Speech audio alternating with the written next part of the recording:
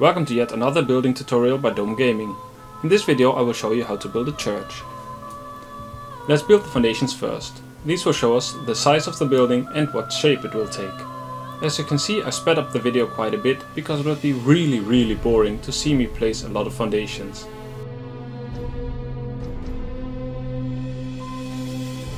As you can see I add some foundations to the sides. These will serve a purpose later in the video.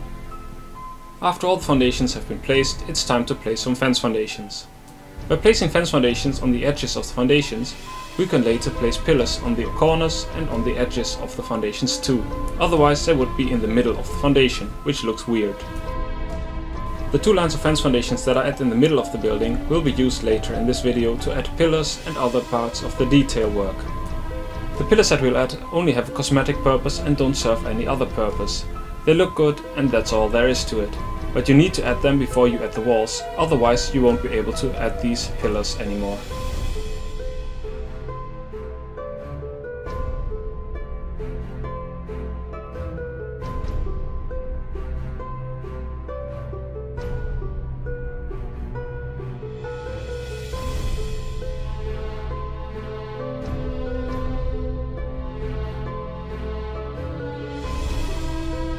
Now it's time to add the pillars on the inside of the building. Just like the ones on the outside, these will be 4 pillars high.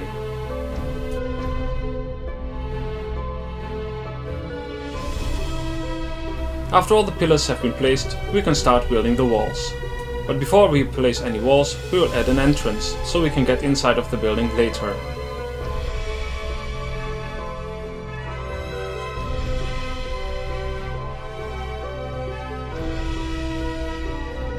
Now it's time for the fun part. Let's add some walls to the building.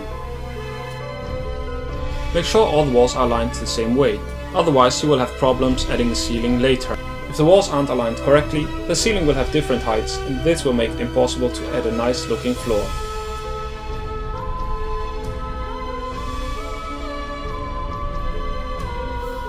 The reason that I chose wood walls with stone pillars is because it gives a nice little contrast and makes the building look a lot more interesting.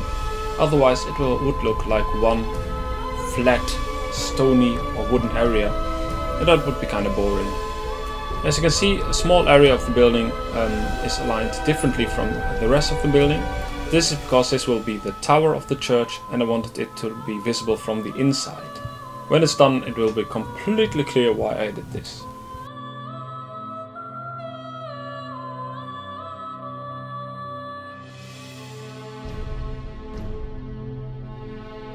It's starting to look a lot more like a building now. Before I can add any more details, I will have to add some fence foundations. Why? Well, I want to add some, add some stone dinosaur gateways to make small little archways, but uh, these can't be aligned correctly without the use of these fence foundations. Well, it's possible, but it's a lot more difficult, so I chose to add these fence foundations because they look awesome and they make my job a lot easier. And as you can see, it really works well. So all the archways have been placed and the next part of the video, I can start building on top of this area.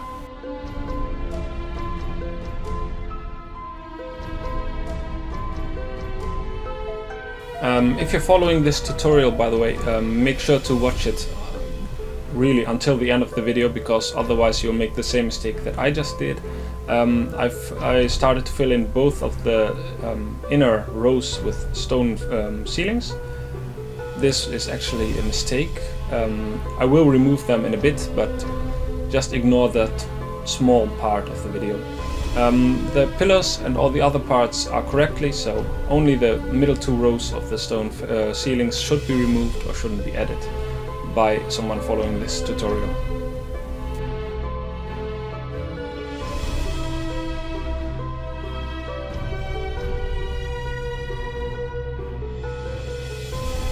As you can see, both sides of the building now have a ladder to get on top and we can start adding a lot more building parts on the top of these ceilings. Um, the first thing that I will do now is add a lot of window frames. These window frames will make it look a lot more like private quarters for the people working at the church and they also increase the amount of detail that you can see from the outside and make the building look a lot more interesting. Before we can add a roof, we'll have to make sure that the roof will be supported on the inside. Um, this is not really necessary, but it makes the building look a lot more sturdy um, and it's a lot more realistic.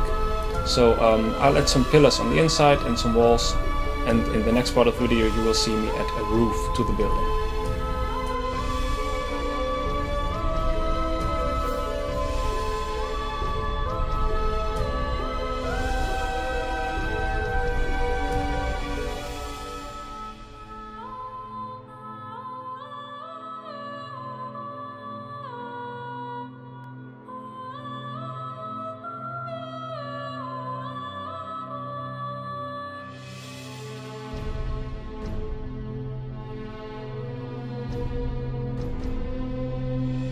Now it's finally time to add a roof.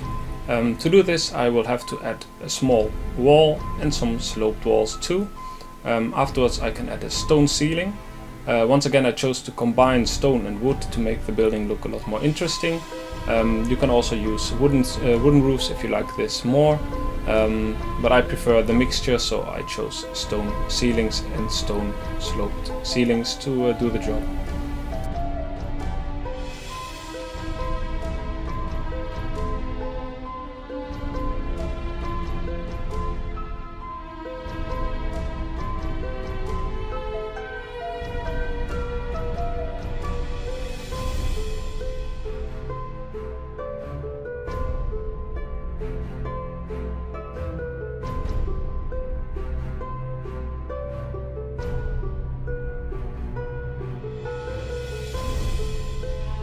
All done. Um, let's take a quick look outside and see if the roof looks good the way it is. Now it's time to add the middle part of the ceiling. Um, I chose to do this with flat ceilings because otherwise the building would look a lot higher than it should be um, and I've got a way to make it look a lot more detailed um, which I will show you in just a few minutes. But before I do this I will add a lot of uh, stone pillars to the tower to make it higher um, I will fill in the gaps with wooden walls later.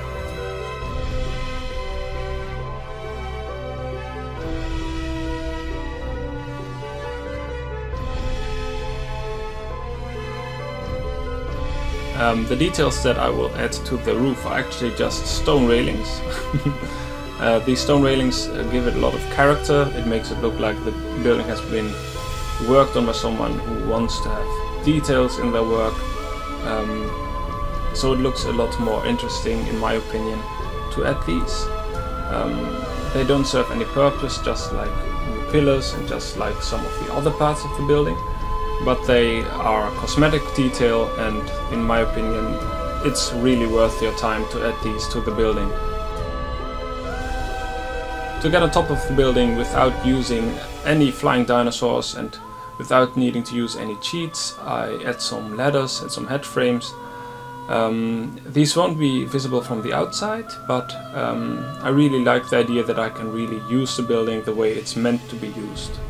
Now if someone would make a mod with church bells, you can uh, always uh, send a message, otherwise it will be an empty tower for the most part.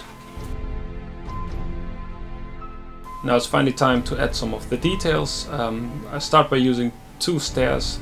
These stairs are from the Aku Shima mod. This is one of the most well-known mods on uh, the uh, Steam Workshop. A lot of people have already downloaded it. Otherwise I would recommend downloading it. On the inside of the building I will use a lot of parts added by the Pub mod. It's a really nice mod that I also use for the Tavern video. So I would recommend downloading that as well. In my opinion, the uh, addition of different objects from the game and from the vanilla game will really give the building a lot of character and makes it look like it's really in use. Just like the benches where people can sit, I will also add some offerings that they made to the Dragon God, because this was a church for the Dragon God. Um, as you can see, um, it really fills up the building, it makes it look like you can really sit there and use it um, pray to the dragon god, do whatever you want, just don't burn the place down, because that's the dragon's job.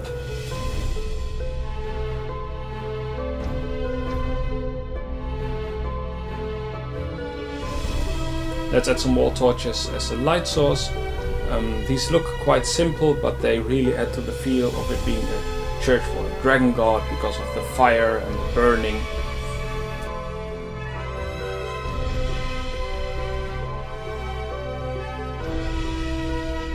A small trick that I learned um, was building in the normal game was that um, these trophy stands and um, the artifacts make a great light source and you can really influence the mood of the area by using a different artifact.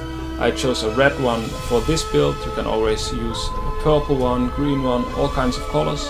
Um, you will need to gather these in the caves, that's a nice little challenge for you, but um, they make the building look a lot more stylish and they add a lot to the mood of the building overall. As you can see in the meanwhile I'm adding a lot of candles to light up just like the offerings made in for example a Catholic church where you light a candle. Um, here you can see a lot of pictures, food and fire for the dragon god to appease him and make sure that he won't attack your village. Last but not least, let's add some chairs for the people who work at the church to sit at and then we can take a look at the finished end result all together.